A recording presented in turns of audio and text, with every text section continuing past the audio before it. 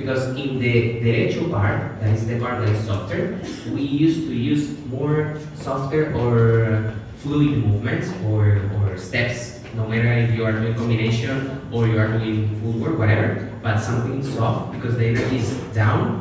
When the Majao starts to happen, we have to increase the level, and it's when we used to use more partner works or sharp isolations, whatever, that have a little bit more of energy, yeah?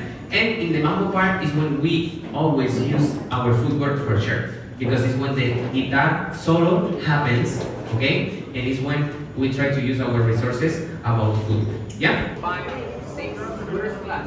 And one, two, three. We open on five. Five, six, we turn. And one, two, three, and four, five, six, seven, setenta. One, two, five, six, and seven.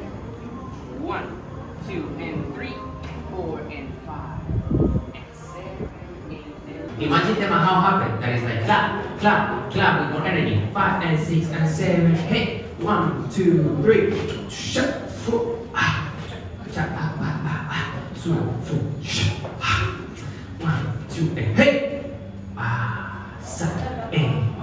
You see the difference? But the mambo, remember that is the solo of the guitar, so we want to work a little bit more with the cadence from the hip to the to the feet. Yes? So we're gonna get a little bit more about the upper body in this moment. Yeah?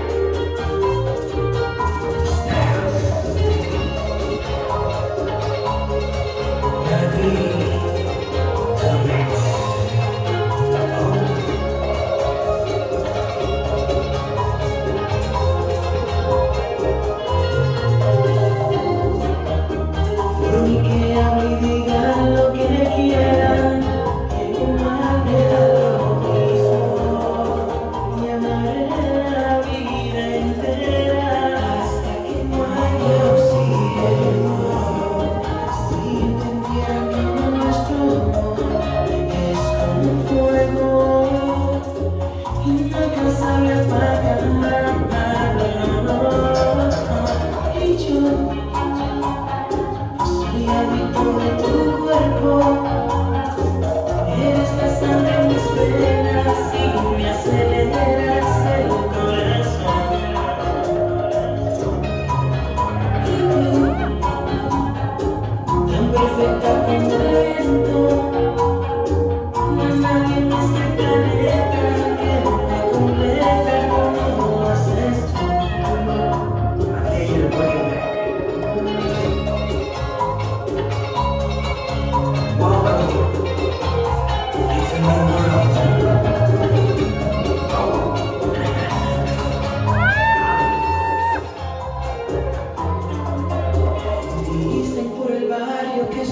sabe que pierdes tu tiempo y tú no crees en ellos.